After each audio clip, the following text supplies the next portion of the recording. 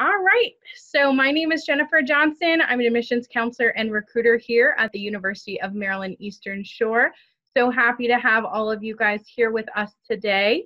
Today we're going to talk about the study abroad um, opportunities for students at UMES, and we have Dr. Khoza. Dr. Khoza, would you like to introduce yourself? Okay, well, my name is Dr. Lamusa Khoza. I am an alumni, Hawk Pride, and I'm happy to serve as your interim director for at the Center for International Education.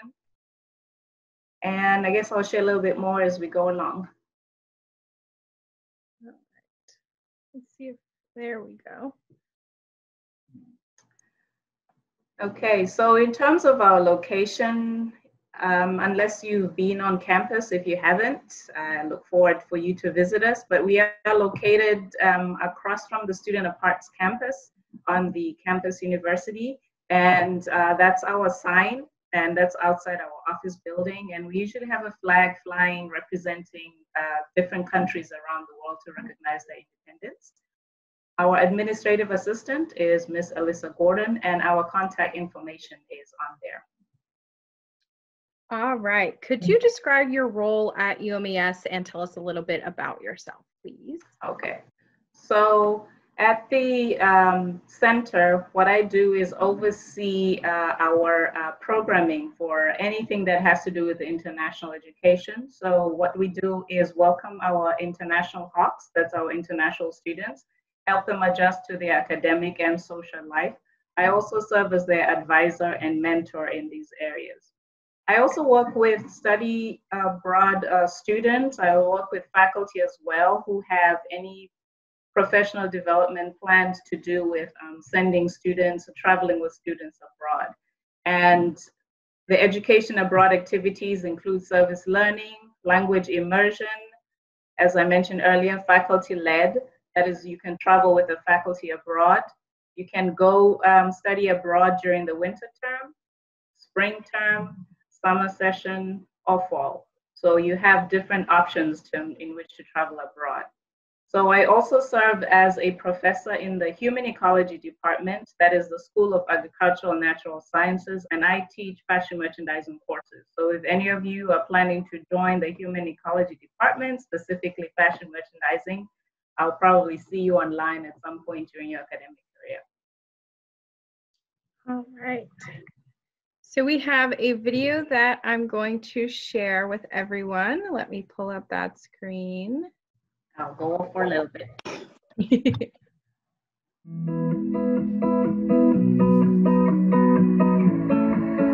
I've been running around for so many days, running around and it's all the same.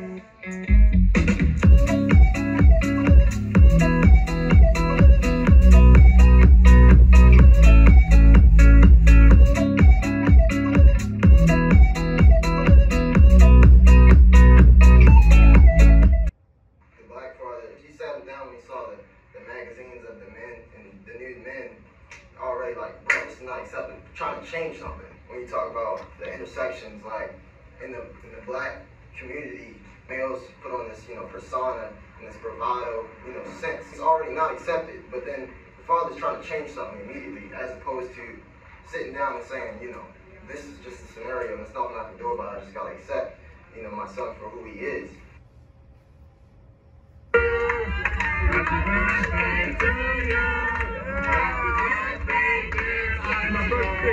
Happy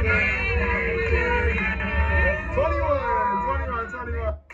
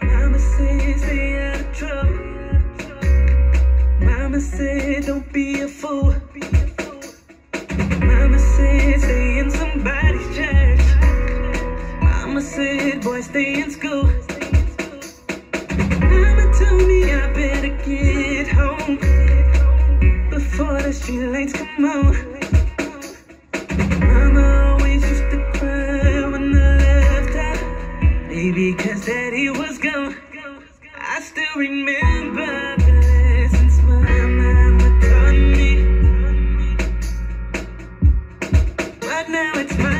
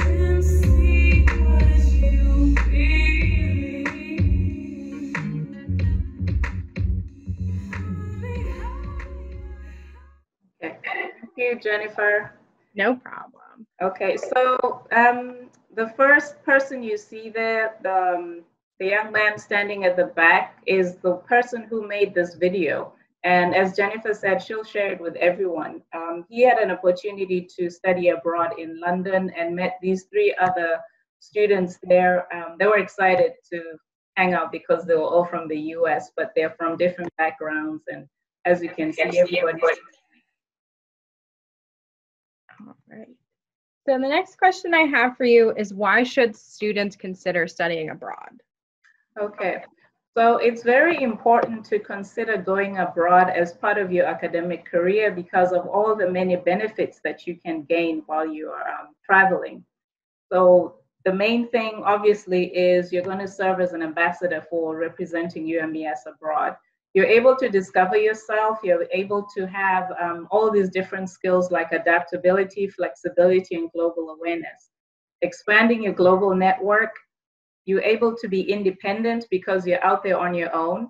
You're able to um, learn how to communicate better and or in different ways with other individuals. You're able to grow yourself because when you're in the US, you're used to a certain way of life, hanging out with your friends and your family. Then when you get to go abroad, you're hanging out with different people. They may be your classmates, but the people that you meet on the ground are different from you. They may speak a different language they may have different cultural practices. Some of you may have um, family relatives from another part of the world and you're experiencing it already. Uh, it's even better when you're in a different country to experience that on the ground. You're also broadening your knowledge. So, whatever your major is, you're getting to see how other people from other parts of the world get to experience life. You gain an appreciation of your own culture. And then when you come back, you continue to serve as a global ambassador some of our partners, which I'll talk about later, hire students to serve as their global ambassadors, or you could just be a ambassador for the center as well. So once you're able to go abroad, you have these different types of experiences and skills that will appeal to your employer. For one, your paycheck, your paycheck will be bigger. You'll be able to um, be adaptable and flexible within the workspace employers value the fact that you you are independent, you have global knowledge and possibly different um, language um, speaking abilities. You're able to advance your professional growth by being marketable, right? When you graduate, you apply to some place. Say you traveled to um, South Africa, New Zealand, Japan, you went to Brazil they could have companies in those locations. And since you've been there and experienced it, you can be their representative abroad. You're able to be flexible and adapt. For instance, you're traveling abroad, you, use your, you lose your passport.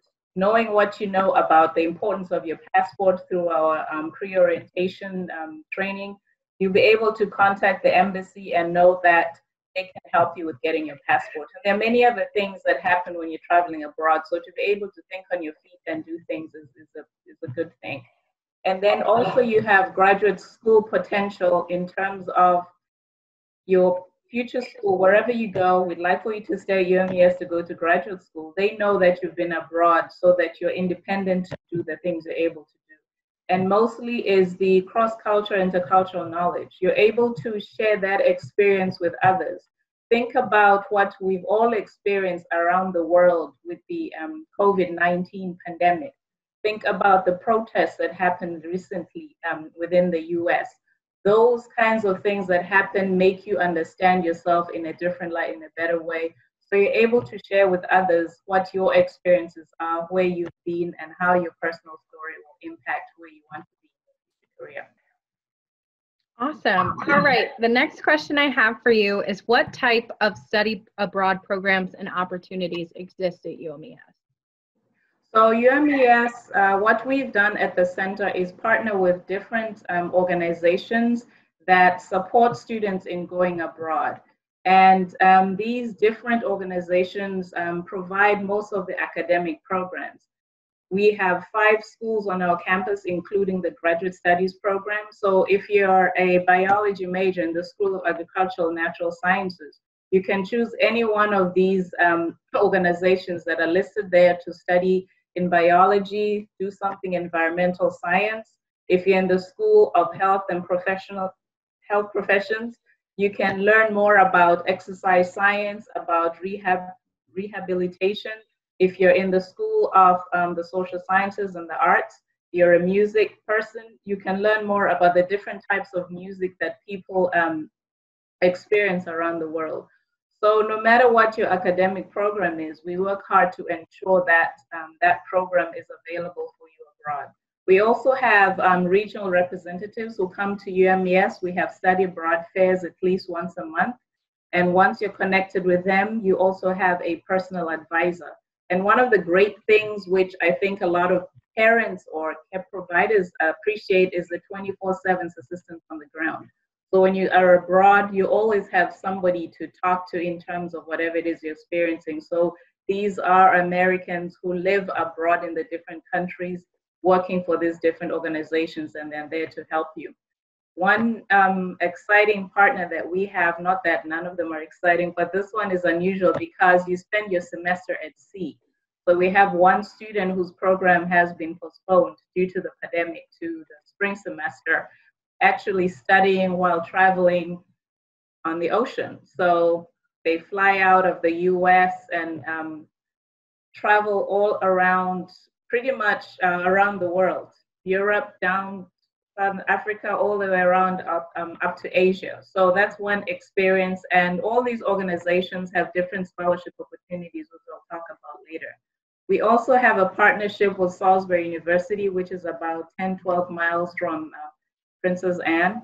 And then we have the Peace Corps Prep program, which we partner with the Peace Corps in terms of um, helping students um, get a leg up and learning how to um, understand what the Peace Corps requires in terms of being with them. And that's an 18 credit certificate. We also have a foreign language instructional center on the campus, and they assist students in terms of guiding them with any um, study abroad uh, plans they have through language immersion. There are other scholarships there that I'll share, but this is um, what we provided UMES as opportunities for you.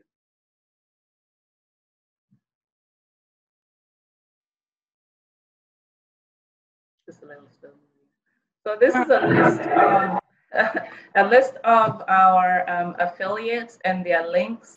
And um, this information will be available to you through um, Jennifer and um, we'll post it also on our webpage. But these are just links of programs that uh, we partner with that um, can help you with your study abroad needs.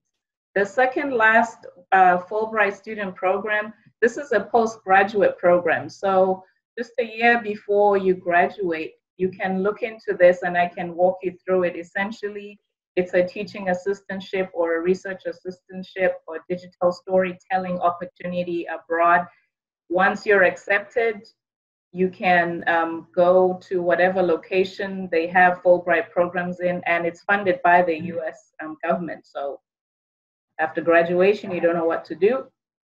I'll help you out apply for Fulbright. All right. The next question I have for you is What regions around the globe have UMES students studied in? Okay, so um, most regions our students have um, traveled to. Uh, we've had um, our international service learning program in the Dominican Republic. We've had a student um, study in Costa Rica for a semester. We've had a, um, about five students travel to Brazil. They did, um, three did four of them did a semester and one did a summer session. A student has been to South Africa, one to South Korea this past summer, one to Kenya. A couple of summers ago, she spent a semester abroad. Um, London, we've had about two students. China, we've had a, one student, and then Spain, a couple of students. Um, Italy, we had a faculty-led trip there last spring break um, they went to Volterra in um, Italy. So that was part of the service learning. So pretty much we've touched most continents. I look forward to having more students going to the African continent, New Zealand, Australia. So we're working on it, and I hope any one of you will be the next person that I talk about. Awesome, thank you. The next question I have is what subjects can students study abroad? Okay, I touched on that earlier. So students can pretty much um, any subject that you're interested in, the basic, the arts, the music, fashion, the sciences, um, anything that relates to your major. So I'll share um, these students that we have on screen. Um, the top three images uh, is a former student of ours who just graduated. She went to Spain for her um, semester, uh, excuse me, her study abroad. And these pictures are from uh, Morocco because um, the tip of Spain is connected to Morocco. So she had an excursion and she went there and she had a wonderful experience and she shared a teaching moment. Um, if you look at the center, well, the first two pictures really, how she has her head covered and up to her nose. And essentially, that's for the heat in the desert, but also to respect the culture. So, when I was talking about learning about yourself, Allison had to, she's a redhead, by the way, so she really stands out. She had to respect the culture, cover her head, um, and you know part of her note i mean we're doing that now by wearing masks right so pretty much everybody sees our eyes nonetheless um, she had to share with her family that it was nothing oppressive she wasn't being submissive she was being respectful of the culture and that's one thing you tend to learn about yourself a lot in terms of respecting where you are and uh, working with the people that you're with the bottom first three um, images uh, that's chioma she was an international student. She recently graduated. She was a math major and she went to South Korea um, over the summer. So she had her experience in Korea and she has a lot of interesting stories. She says she felt like a celebrity at the end because she's a basketball player and she's tall. Everybody wanted to touch her hair and all sorts of questions. And the, the next, the fourth picture at the bottom um, and the ones, uh, the other three, is um, Tiffany Jackson. She went to Estonia. I mentioned earlier that we have a partnership with Salisbury University. So she went through Salisbury University to get to the program in Estonia, and her major is aviation sciences, right? So one of the students who went to Kenya some um, three, four years ago, she studied fashion merchandising and she had a telecommunications minor. So she took a lot of telecommunications courses um, at the university in um, Nairobi, Kenya. So as you asked Jennifer, there's, you know, almost anything you can study abroad. Awesome. Yeah. All right, the next question I have for you is what public service opportunities are abroad and available to students? Okay, so we've been um, doing this international service learning program for about three years. and the last time we did this was um, last year in January, and I uh, traveled with the students. And this is just an example of a flyer that we used um, to promote um, the program. And uh, this was, it's about a 10 day um, trip in the winter, winter in the US. It was nice and warm in Dominican Republic. And here we work with a, an environmental school in um, Jarabacoa. It's uh, more or less north of uh, Dominican Republic, and we work with other students in terms of um, replanting. You learn about the traditions and the culture. You learn about the importance of the environment.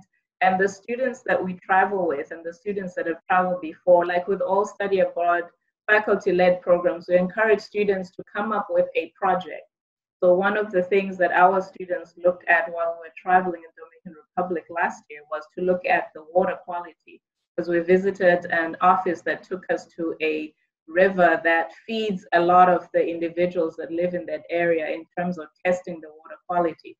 So that was her project to look at the water quality there and come up with ideas on how to move forward with that project. So there are different types of opportunities we have for um, public service learning and you know, giving back um, to whatever society we're in. Um, UMES has a Rotaract Club, um, of which I'm a um, co-advisor, and there it's you know you do local public service, you give back um, in that way. So there are many opportunities to do that. So here are some images of students that that uh, I traveled with with the our previous assistant um, director in the honors program. And the first image that was us at a restaurant experiencing local food culture. One of the amazing things about traveling abroad, which I enjoy, is the food. So everything is pretty much fresh, picked out of you know the ground and provided to you. I was actually sometimes um, I have weird allergies. I'll lose my voice. So when I was in the DR, I actually did lose my voice. So they went and got honey and they got some herbs and leaves and they mixed them. They said, drink this. And by the end of the day, they were like, oh, Dr. Khoza. Anyway, I got my voice back and it's got to do with the um, local um, traditions then. Uh, so we have um, Rashmi and Danielle in the middle. They were doing the planting and the bottom picture is um, just before we left the Dominican Republic, we um, took a picture with some of the students there, and you can see in the background how beautiful um, the nature is. And the picture in the corner of my right is um, a popular street in Santo Domingo. When we're driving back um, to fly out um, out of the Dominican Republic, we went to this um, town and we did a walking tour to learn more about the rich history and culture of um, Dominican Republic. And this is a street where they have a lot of souvenirs and things, but um, it's quite an amazing experience to be um, out there and you know learn more about what other people are doing around the world. The next question I have for you is how long do students typically study abroad?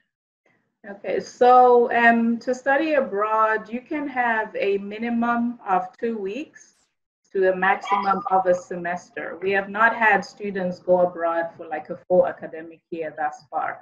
So the minimum two to three weeks is usually what they call J term, January term. That's in January during the winter break there. So I've had um, two or three students do this. Um, one went to China for a marketing um, course.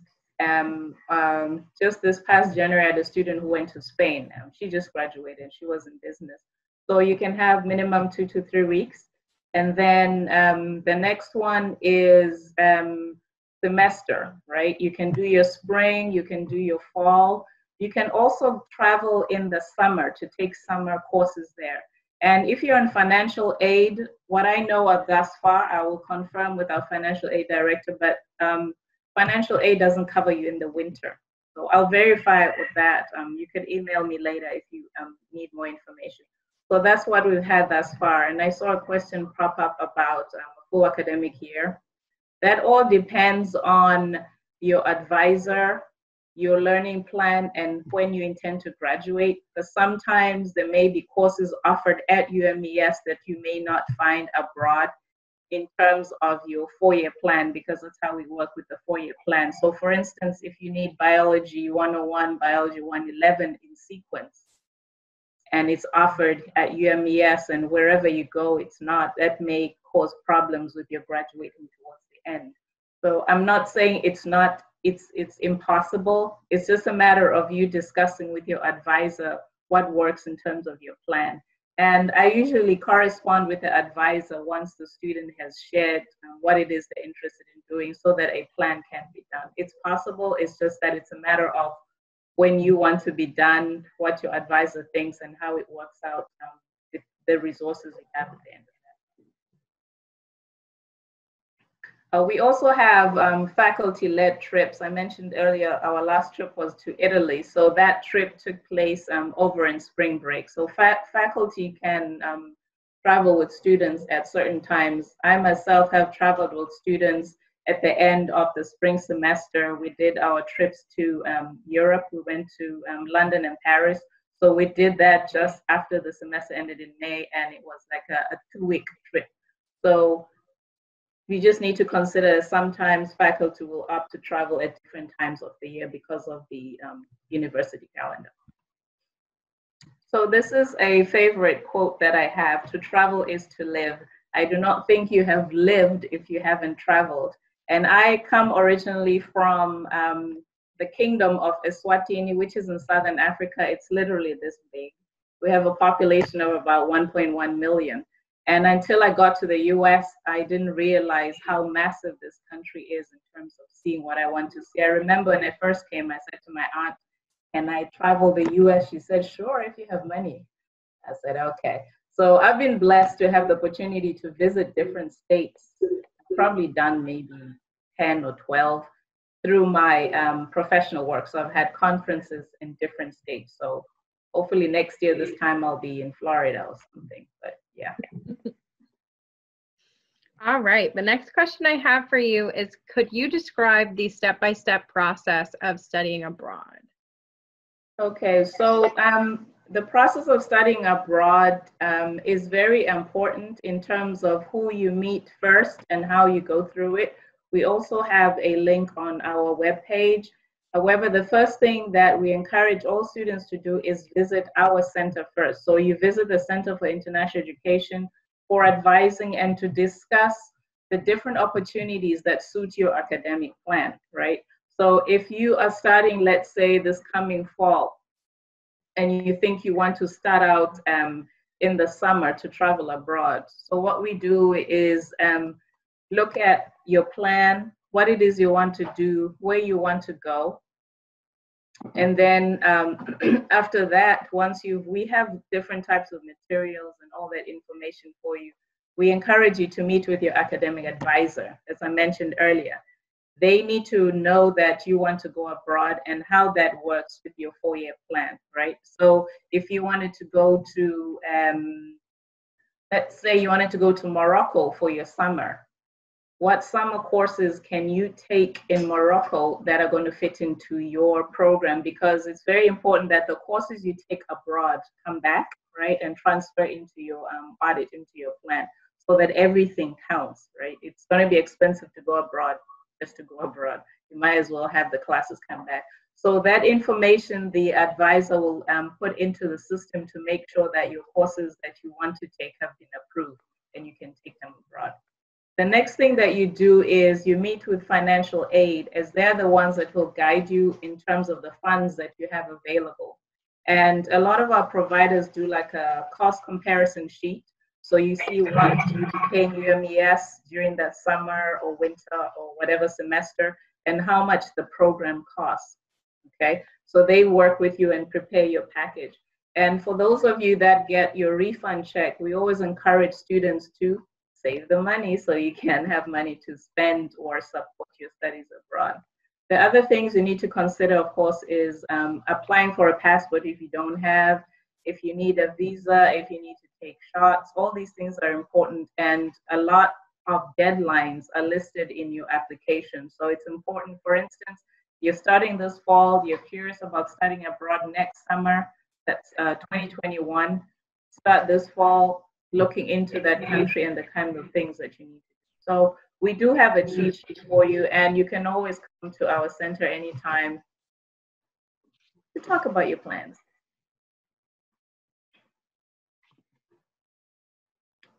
Okay. So you also talk with individuals that have been abroad. So we have a number of international faculty on our campus. Those are individuals you reached out to outside of myself. We also have students that have traveled abroad. I believe we do have some students still studying that went to Dominican Republic with myself. So I can seek those students and those that have recently graduated are willing to um, chat with students as well. The STEP program is important in signing up for because it um, allows you to provide information there so you can enroll and the local embassies where you're going. So you're going to um, Kosovo in Eastern Europe, um, the embassy there or the consulate will know that um, such and such a person is here in case, you know, yeah. take you out of the, that country for, for whatever reason. If you're an international student, it's important, obviously, to check on the visa requirements and see if your um, I-20 form needs to be signed. Knowing what to pack, how much to pack, reading up on the local culture, the traditions, the laws, expectations, money exchange values, the social life, what kind of communications they use is very important. So we encourage our students to use WhatsApp.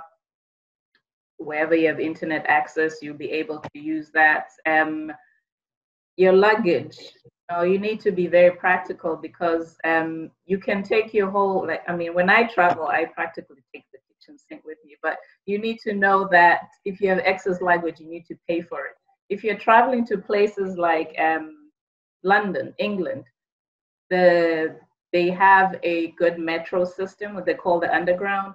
but there's a lot of steps, not many elevators. So if you have your kitchen sink and you're carrying that up the you're going to have a lot of muscle, but I mean, it's a lot of luggage, a lot of weight.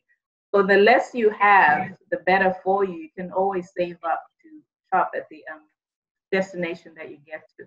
Um, our providers do have a pre-orientation session, but we also do that um, in the office as well. And it's important to do your homework every time to check what's going on, what's happening. As I said, talking to people and understanding where you're going to is very important. All right. The next question I have for you is what costs are associated with studying abroad and what resources or scholarships are available? Okay, so I talked earlier about um, doing a comparison sheet for yourself if your provider does not have one, but there are a lot of travel expenses that can come up that you may not be aware of. So, for instance, um, the books, the airfare, the meals, the personal expenses and think about the longer you stay, how much it will cost. If you go to a destination that's closer to the US, particularly um, to Latin South America, where the dollar is favorable, that is the power, the dollar of the power is stronger than the local currency. You're able to save money that way, obviously. If you're considering destinations like New Zealand, Australia, Japan, um, uh, most parts of Europe, the cost is going to add up. So it's important to do that comparison. And some um, destinations enable homestays. It may be a challenge uh, considering the current um, uh, pandemic doing a homestay, but you know, think again how much it will cost to stay on your own, the amount of food.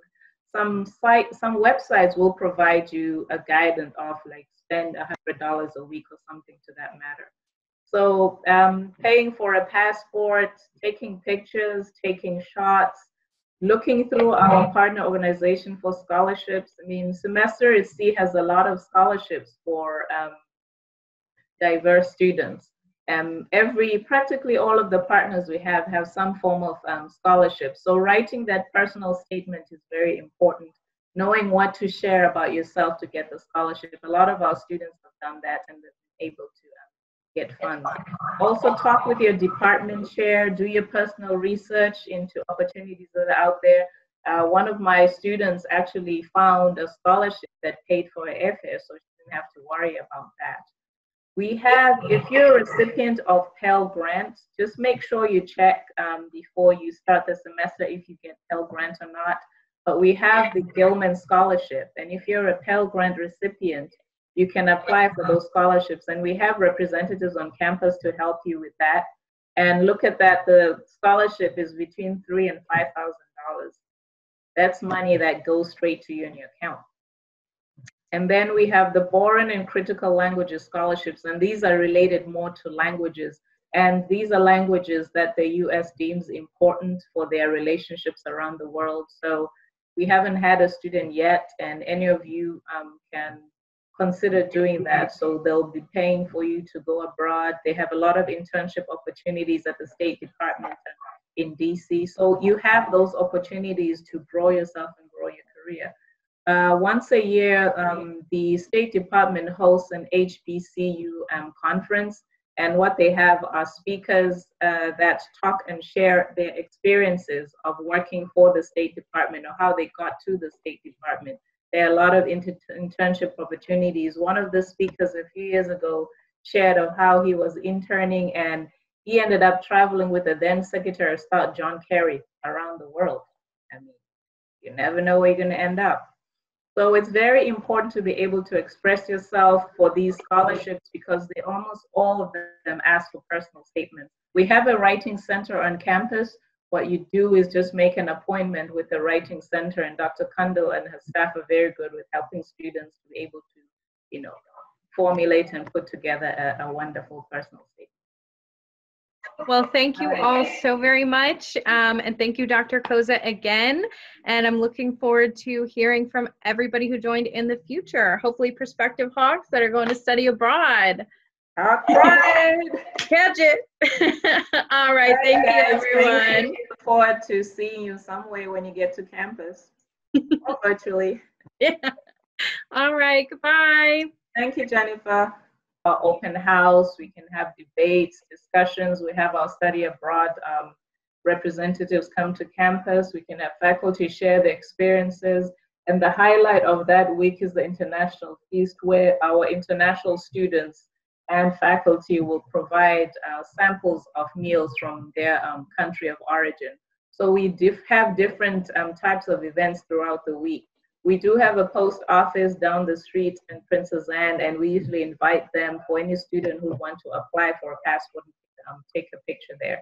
And then we usually round it up with an international tea and coffee day, where you can sample different teas and coffees or beverages from around the world and little snacks from around the world as well. So these are events that are important to attend to just expose yourself to what could be, right? So I remember going to um, Italy one time. I was traveling with students, and uh, they served us what is it? It's, it's like a four course meal. You start off with the bread and the olive oil, and then it goes on and on. And it's unique. It's just um, something that you um, get to used to, but you understand that this is what I want to do, and this is my experience. I'm actually living it. So, hey, it's a fabulous experience. I mean, you go for it. I've had a student travel, Allison, the one I said went to Morocco. She was on the camel. She traveled to the Dominican Republic for that service learning program three years in a row. She traveled to Spain. She traveled to Morocco. She went back to Spain and she's thinking of going back to Spain again to do internship. And she majored in kinesiology, that's exercise science. So she's very excited about where she wants to be in the future. She even applied for a Fulbright. She didn't get it, but it was a process that she went through and she learned more about herself.